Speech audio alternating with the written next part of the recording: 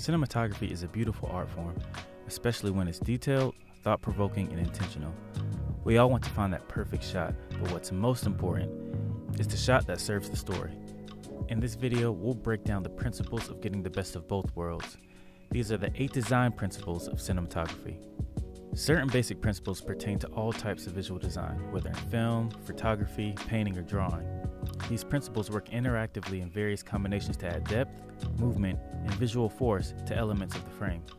Now, our first design principle is unity. Unity is the principle that the visual organization be a whole, self contained, and complete. This is true as a deliberately chaotic or unorganized composition. Next, we got balance. Visual balance, or lack of balance, is an important part of composition. Every element in a visual composition has visual weight. These may be organized into a balanced or unbalanced composition. Next, visual tension.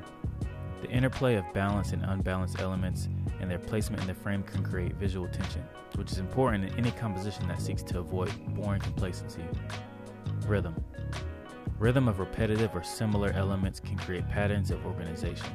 Rhythm plays a key role in the visual field, sometimes in a very subtle way. If you're liking this video so far, go ahead and click that like and subscribe tab and that little notifications tab to let you know when another video is dropping. Proportion. Classical Greek philosophy expressed the idea that mathematics was the controlling force of the universe and that it was expressed in visual forces and the golden mean. The golden mean is just one way to look at proportion and size relationships in general. Contrast. We know a thing by its opposite. Contrast is a function of light and dark value, the color and texture of the objects in the frame and the lighting. It is an important visual component in defining depth, spatial relationship, and of course carries considerable emotional and storytelling weight as well. Texture. Based on our associations with physical objects and cultural factors, texture gives perceptual clues.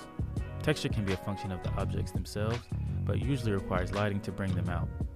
Last but not least, directionality. One of the most fundamental of visual principles is directionality.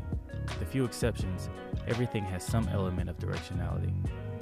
This directionality is a key element of its visual weight, which determines how it will act in a visual field and how it will affect other elements.